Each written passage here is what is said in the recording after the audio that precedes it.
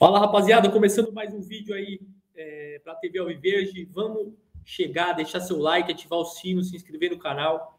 É, esse período aí de janela aberta, né? Uma movimentação, é notícia para lá, notícia para cá. Então se inscreve aí, deixa o like para ajudar o canal. Bom, vim falar hoje aí de uma, uma história que começou, mas já terminou, né?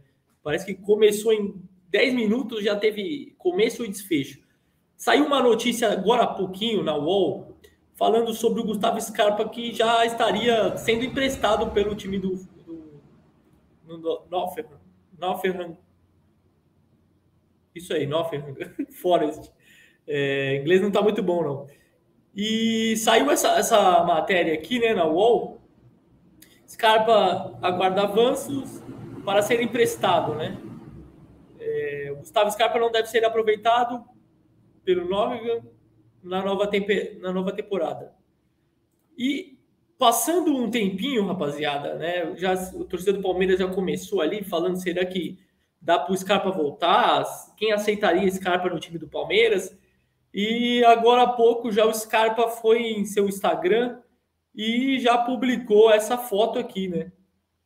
Já colocou lá, ó. Galera viaja nas mentiras, cê é louco.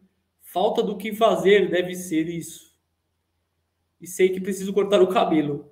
Então, quer dizer, né, a gente já ia começar todo esse, essa, esse teatro aí, né, essa discussão se aceita Scarpa, não aceita Scarpa, e o, e o Scarpa parece, né, que com, com esses stories aí dele no Instagram, ele já desmentiu a notícia. Mas caso o Scarpa esteja no mercado aí, você palmeirense, aceitaria o Scarpa de volta? Né? Acha que, como ele já conhece o time, já encaixaria de vez no time, já não precisa conhecer todo o elenco, né? É, ritmo de jogo. O que, que você acha? Aceitaria o Scarpa de novo no Palmeiras? Vamos aguardar aí os próximos passos, né? Quem tá mentindo, né? Será que o Scarpa sabe de alguma coisa? Será que já vai ser emprestado? Né? E se vier para o Brasil, a gente vai enfrentar uma concorrência aí, né?